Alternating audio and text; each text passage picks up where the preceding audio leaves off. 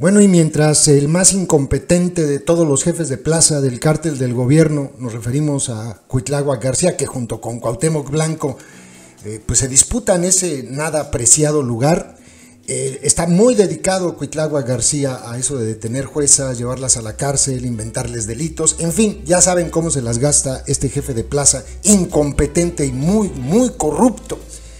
Él metidazo en eso y el Estado pues viviendo cosas como la que ocurrió el día de ayer en el municipio de Veracruz, en el puerto, donde en una zona denominada Las Bajadas hubo una balacera. Por ahí publicó la Secretaría de Seguridad Pública un pequeño comunicado donde informaba que se activaban las fuerzas federales y estatales en un operativo de código rojo en el municipio de Veracruz tras la agresión con arma de fuego a elementos de la Policía Estatal en la zona de Las Bajadas. Decía el comunicado que se reportaban en ese momento dos oficiales lesionados, lesionados perdón, y uno caído en cumplimiento de su deber. Y de igual forma, la dependencia detallaba que a las 14.07 horas las acciones operativas se mantenían desplegadas a fin de dar con los responsables y decían, no permitiremos que unos cuantos atenten contra el orden y la paz social. Los medios locales hablaban de dos policías lesionados, uno en la pierna y otro en el tobillo, por lo que fueron trasladados a hospitales y empezaron a circular a través de redes sociales algunos videos en los que se podían escuchar las detonaciones desde diferentes ángulos que la gente por ahí grababa. En los medios de Veracruz se refiere a esto sobre una agresión que habría sido perpetrada por hombres armados contra policías estatales, quienes le habrían marcado el alto a un vehículo sobre la carretera 140 Veracruz-Jalapa a la altura de las bajadas pero al momento de detenerlos se habría suscitado una agresión dejando a uno de los uniformados sin vida en el lugar. Por estos hechos se registró entonces una intensa movilización en esta zona, la cual está cerca del Aeropuerto Internacional de Veracruz. Y pues bueno, mientras todo esto ocurre en el estado, Cuitláhuac García haciéndose pendejo, porque esa es la realidad. Les dejo los videos, algunos videos que compartió la gente a través de sus redes sociales.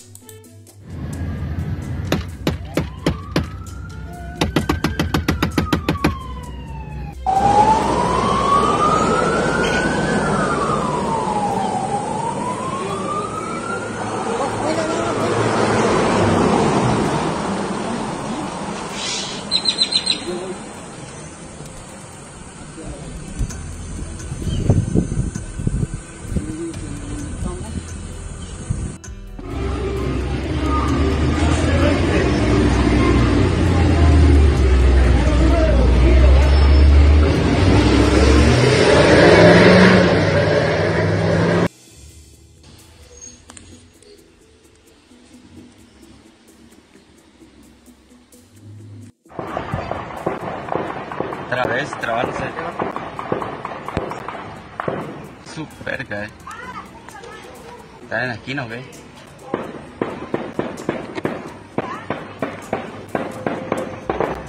Carretero, ¿qué pedo? No,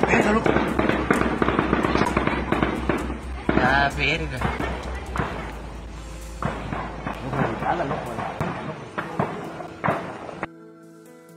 YouTube nos hace clasificar los videos que subimos para que puedan ser publicados. En esa clasificación nos indica que los videos relacionados con el crimen organizado no se van a mostrar en sugeridos y no enviará notificaciones cuando sean publicados.